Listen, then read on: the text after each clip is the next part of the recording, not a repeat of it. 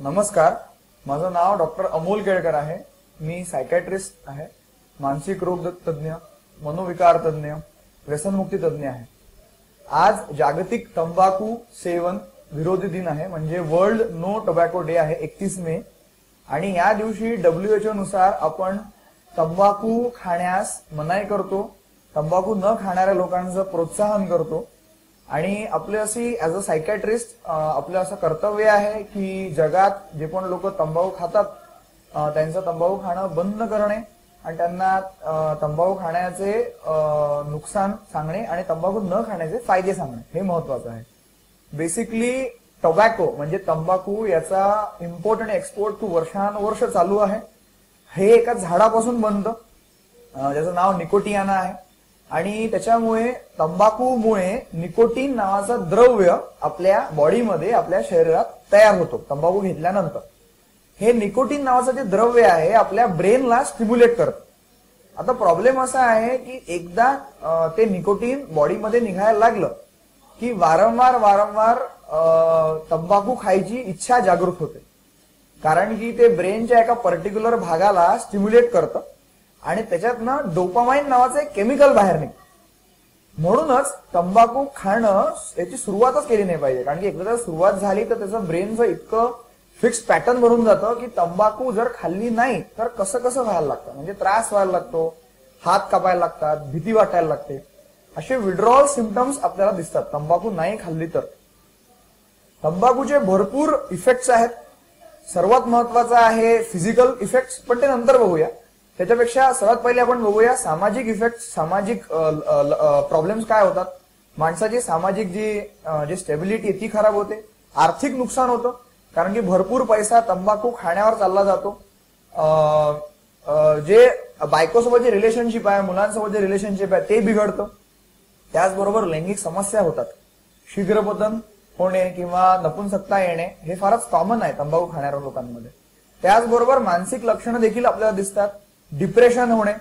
बरेच पेशंट जेव्हा आम्ही बघतो आणि जेव्हा डिप्रेशनचे जेव्हा आम्ही बरेच पेशंट बघतो आणि त्यांना विचारतो तुम्हाला कुठली व्यसन आहे का? त्यातले नव्वद टक्के लोक असं म्हणतात की आम्ही तंबाखू पुडी गुटखा खातो.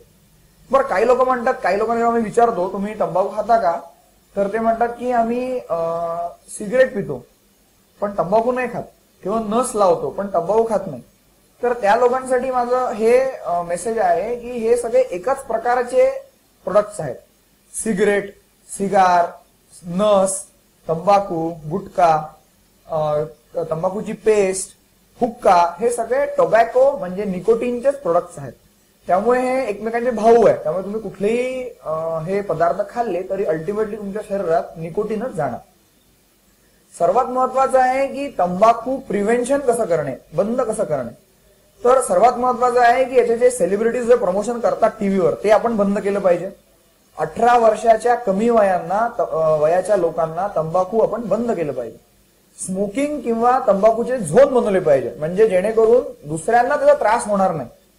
त्याचबरोबर पब्लिकली तंबाखू खाणाऱ्या लोकांना आपण पनिशमेंट किंवा फाईन दिली पाहिजे. त्यामुळेच लोक सुधरतील. त्याला ट्रीटमेंट आहे का तंबाखूला? हो नक्कीच ट्रीटमेंट आहे. आजकाल बरेच प्रकारचे औषधं म्हणजे निकोटेक्स स्ट्रिंगम असे आलेले आहेत ज्याच्यामुळे तंबाखू खायची इच्छा होत नाही. त्याचबरोबर बुप्रोपियॉन क्लोनिडीन नावाचे गोळ्या निघाले आहेत मेडिसिन्स निघाले आहेत ज्याच्यामुळे तंबाखू खाण्याची इच्छा कमी होते.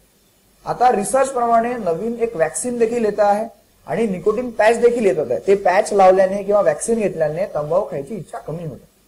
ऍज अ सायकॅट्रिस्ट सर्वात महत्वाचं आहे की अशा पेशंटचं काउन्सिलिंग करणे.